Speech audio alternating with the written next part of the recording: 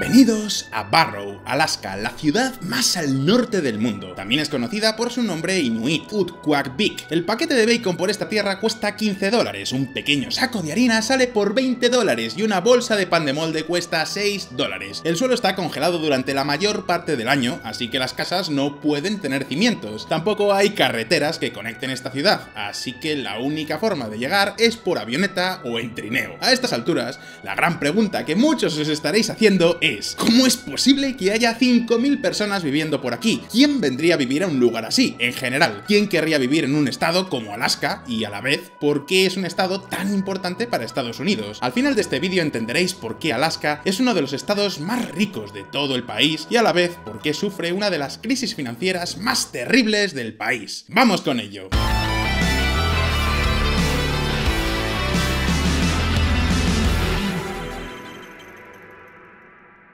Alaska es el estado más grande de Estados Unidos, al menos en lo que a territorio respecta. Ahora bien, tiene menos de un millón de habitantes, apenas hay carreteras y casi todo el transporte se realiza por avión. De hecho, tiene una de las tasas más altas de pilotos de avión per cápita de todo el mundo. ¿Y qué me decís del clima? En Alaska hace tanto frío que hasta los de Burgos se tienen que poner un abrigo. Vale, esta broma solo la entenderéis los de España. En invierno las temperaturas pueden alcanzar los 40 grados bajo cero y prácticamente todos los productos se tienen que importar desde muy lejos. Todo esto significa que absolutamente todo en este país es ridículamente caro. En otras palabras, Alaska es el último lugar donde nadie viviría, quiero decir. Imaginad que fuerais un millonario y pudierais vivir donde quisierais. ¿De verdad os mudaríais a Alaska? Pues tal vez sí, Alaska es el quinto estado de Estados Unidos en población millonaria. El 6,75% de su población son técnicamente millonarios. Su PIB per cápita es el séptimo más alto de todo el país, 73.000 dólares, y todos los años los alasqueños reciben un cheque del Estado solo por vivir ahí. Y os preguntaréis, pero ¿por qué Alaska es tan increíblemente rico? La respuesta se puede resumir en una palabra. Petróleo. Vale, ya lo sé, seguro que nadie se lo había esperado. El zumo de dinosaurio ha convertido Alaska en la Noruega de los USA, pero si seguís VisualPolitik con regularidad ya sabéis que vivir del petróleo en tiempos del coronavirus no es un buen negocio. Atentos. Alaska encara un triple golpe del coronavirus debido a su dependencia del petróleo, la pesca y el turismo. Os lo hemos dicho un millón de veces por aquí en VisualPolitik. Los recursos naturales suelen ser más una maldición que una ventaja, y Alaska no es que tenga un problema de dependencia del petróleo. Podemos hablar directamente de adicción. Así que en cuanto a los precios del petróleo caen, los alasqueños sufren más que nadie, y todo esto explica que desde el año 2014 Alaska esté en recesión tal cual como lo oís. Mientras Estados Unidos ha estado experimentando un auténtico boom económico, el PIB de Alaska no ha dejado de caer, y ahora, con la pandemia del coronavirus, las cosas van de mal en peor. Pero la pregunta es, ¿cómo de mal? ¿De verdad la vida en Alaska es tan terrible? ¿Por qué Alaska es tan rica y por qué ahora están sufriendo una recesión? ¿Hay alguna forma de acabar con el déficit de su estado? Hoy vamos a responder a estas preguntas, pero antes, vamos a ver un poco de historia. Destino manifiesto. Durante toda la Segunda Guerra Mundial solo hubo una batalla en suelo estadounidense, si no contamos con el ataque a Pearl Harbor, claro. ¿A que no adivináis dónde? Pues sí, fue en la batalla de Attu, en Alaska. Los japoneses entendieron la importancia estratégica de Alaska y por eso invadieron parte de ella durante un año. Con esto ya nos podemos hacer una idea de lo importante que es este estado, pese a que esté donde Cristo perdió las zapatillas.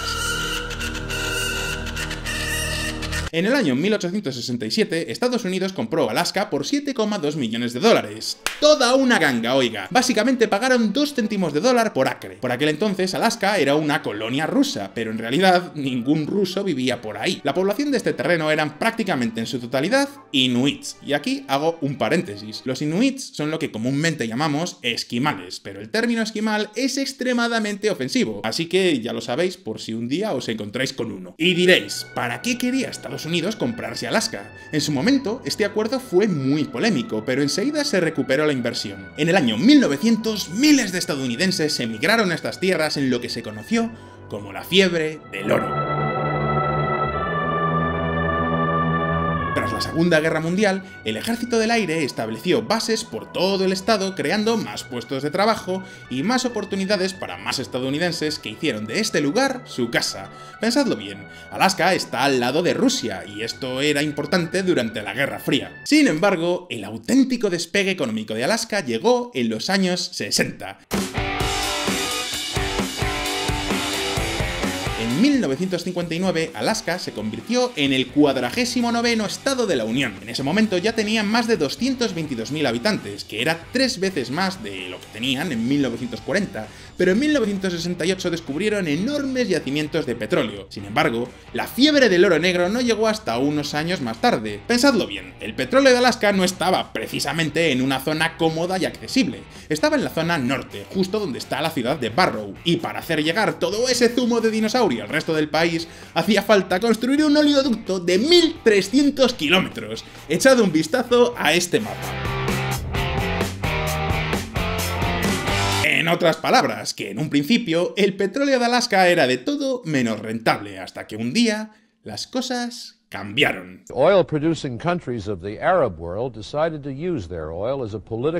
Exacto. En el año 1973, las petromonarquías declararon un embargo de petróleo. De repente los costes del crudo se dispararon y de repente lo que parecía una obra faraónica se convirtió en una necesidad. Bastaron dos años para que Estados Unidos construyera el oleoducto de principio a fin.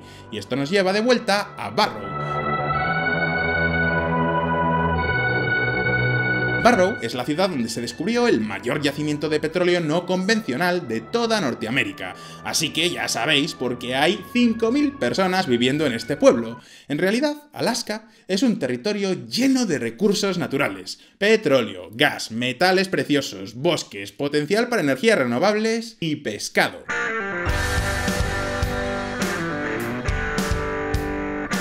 La industria del pescado no es cosa de broma. Solo entre 2017 y 2018 Alaska procesó más de 2 millones y medio de toneladas de pescado. Hablamos de una industria de 5.600 millones de dólares que emplea a 60.000 personas. De hecho, uno de cada dos pescados que se come en todo Estados Unidos viene de Alaska. Alaska también es uno de los lugares con más millonarios de todo Estados Unidos. En otras palabras, que podríamos decir que Alaska es la Noruega de Estados Unidos. Ambos tienen una economía basada en petróleo y pescado.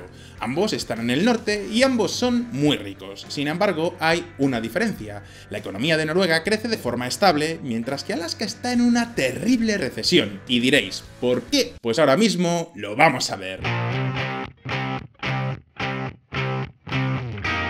Cuando el petróleo ya no paga las facturas. Si hay un estado con problemas, ese es sin duda alguna Alaska. De entrada tiene un problema de aislamiento que sube los costes de cualquier cosa. Coches, medicinas, comida, cualquier cosa es más cara en Alaska. Incluso la capital del estado, Juneau, está aislada del resto del estado. Es decir, que no tiene carreteras que la conecten con ninguna otra ciudad. Así que la única forma de llegar es mediante aviones o mediante barcos. Desde el punto de vista de los servicios públicos, Alaska es una auténtica pesadilla. Un estado del tamaño de Libia, pero con la población de Frankfurt. La densidad de población es terriblemente baja. Y precisamente por estas razones, los alasqueños no pagan impuestos estatales. Tal vez esta sea la razón por la que tantos millonarios viven por aquí. Y diréis, si no cobran impuestos, ¿cómo se financia el Estado? La respuesta es el petróleo y los recursos naturales. Casi todos los ingresos del Estado vienen de los royalties que cobran por explotar los recursos naturales y de los impuestos a las grandes empresas. Y diréis, pues oye, no suena tan mal, solo pagan impuestos las grandes petroleras. Fantástico, ¿verdad? Pues no, no exactamente. Atentos a esta noticia producción de petróleo de la costa norte de Alaska tendrá su año fiscal más bajo desde que comenzó el oleoducto. Exacto, el boom del petróleo de Alaska ha terminado. En realidad, ahora mismo se saca el petróleo justo y necesario para evitar que todo el sistema de oleoductos se congele, y esto ha ocurrido por una combinación de factores. El primero es la competencia, es decir, Alaska no es el único estado con petróleo. Otros estados como Texas o las dos Dakotas también han tenido sus fiebres del oro negro recientemente, y estos estados tienen la ventaja de no estar en el Ártico, lo que significa que no es necesario enviar a trabajadores al fin del mundo ni tampoco enviarlo a través de un oleoducto de 1300 kilómetros. Además, el barril alasqueño es uno de los más caros de extraer. Para que Alaska saque un beneficio de su barril, el precio tiene que estar por encima de los 59 dólares. Para que os hagáis una idea, en el momento en el que hacemos este vídeo, el barril de Brent está en 59,89 dólares, pero ha llegado a estar mucho más bajo. Y todo esto explica por qué la caída de precios del año 2014 tuvo un efecto tan dramático en la economía de Alaska. Mientras el resto del país estaba creciendo a ritmos del 2,5% del PIB, Alaska empezaba su super recesión. Su PIB cayó al 1,5% ese año, pero es que en 2015 cayó al 8%. Y todo esto significa que el gobierno tenía un gran grave problema. ¿Recordáis que os he dicho que casi todos los ingresos del Estado vienen de los royalties y los impuestos sobre los beneficios de las empresas? Pues adivinad lo que pasa cuando las empresas petroleras, que son las más importantes de la zona, dejan de tener beneficios. De un día para otro, los ingresos del Estado cayeron en un 80%. Y si esto es lo que pasó en 2014, imaginad lo que ha ocurrido durante la pandemia del coronavirus. Presupuesto de Alaska apunta al debate sobre los cheques de riqueza petrolera. A todo esto hay que añadirle el hecho de que Alaska se está quedando sin petróleo. Se estima que este estado ya ha extraído el 60% de sus reservas. Eso explica por qué algunas petroleras como ConocoPhillips están cortando gastos en Alaska por más de 500 millones de dólares. Pero esperad un momento porque los problemas nunca vienen solos. Alaska es también una de las regiones más afectadas por el cambio climático. El Ártico se está calentando dos veces más rápido que el resto del mundo y todo esto implica que la acidificación del océano también puede dar al traste con la única industria que todavía funciona por estos lares, la pesca. Así que toda esa riqueza de Alaska podría desvanecerse más pronto que tarde, y la pregunta ahora es, ¿qué pueden hacer para evitar el desastre? Pues ahora mismo lo vamos a ver. Dividendo alasqueño. Alaska tiene un problema presupuestario de proporciones jordianas. Esa no la habéis visto venir, ¿verdad? El petróleo ya no da dinero. De hecho, cada vez están produciendo menos barriles. Eso significa que prácticamente nadie paga impuestos y los ciudadanos se están marchando. En otras palabras, que si eres Mike Dunleavy, el actual gobernador de Alaska, y estás viendo este vídeo, solo puedo decirte una cosa. Lo siento.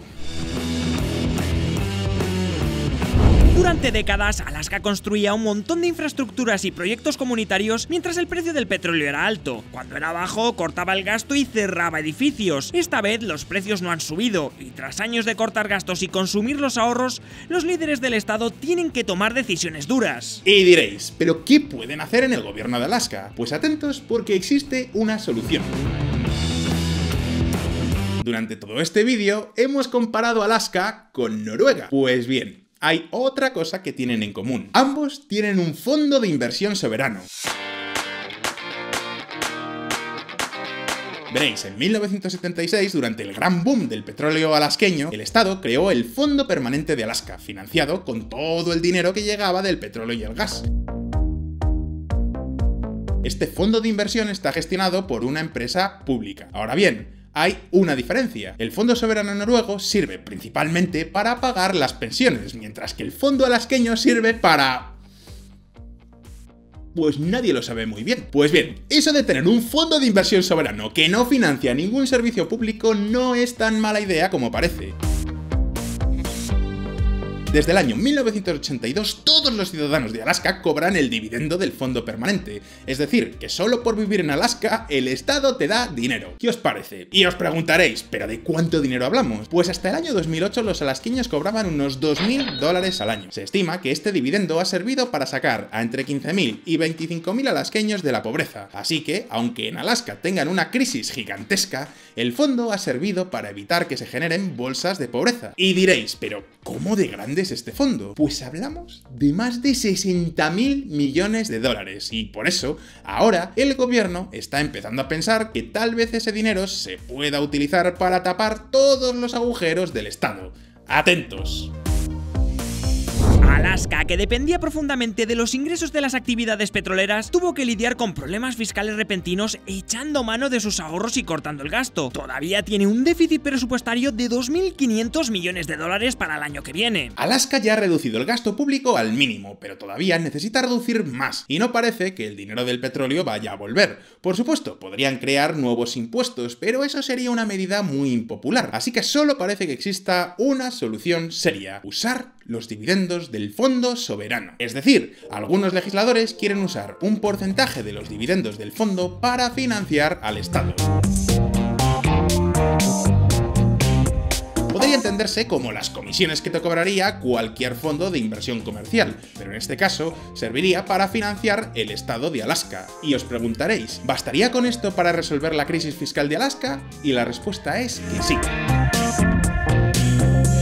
La empresa pública que ha gestionado este fondo ha hecho un trabajo fantástico. Tienen una cartera muy diversificada, con inversiones conservadoras y un proceso de deliberación muy cuidadoso. Para que os hagáis una idea, a finales de 2016 el fondo estaba valorado en 55.000 millones de dólares. Ahora, 5 años después, ha crecido hasta ponerse en los 67.000 millones. Es decir, que sí, el fondo puede ser más que suficiente para tapar todos los agujeros del Estado e incluso dejar las cuentas en superávit. Sin embargo, esto solo es una solución temporal. Por supuesto, con esta estrategia, Alaska puede cubrir su crisis fiscal, pero no su crisis económica. Durante décadas, casi toda la economía de Alaska dependía del petróleo, pero ahora necesitan diversificar y atraer nuevas industrias. Así que ahora la pregunta es para vosotros. ¿Creéis que Alaska terminará usando su fondo soberano para financiar su estado? ¿Podrá Alaska diversificar su economía? ¿Qué industrias creéis que podrían establecerse en este lugar? Podéis dejarme vuestra respuesta en los comentarios y como siempre, no olvidéis que aquí en Visual Politics sacamos vídeos nuevos todas las semanas, así que suscribíos al canal y dadle a la campanita para no perderos ninguna de nuestras actualizaciones. Si os ha gustado este vídeo, dadle a like y nos vemos en el próximo. Un abrazo y hasta pronto.